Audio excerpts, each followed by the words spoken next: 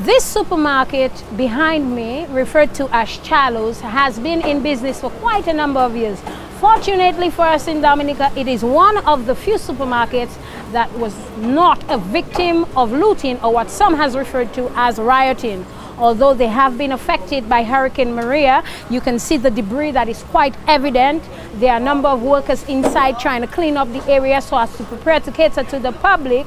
Although they have been affected by Hurricane Maria, they are still thankful that there are supplies in there that within a uh, stipulated amount of time they will be able to cater to the public and offer their services. Of course, we cannot just rely on relief supplies, although we are thankful that we are receiving we have to be particularly thankful that there are still some business places in Dominica that are open and are able to cater to the Dominican public. CBN4 News, Marissa Stedman, Dominica.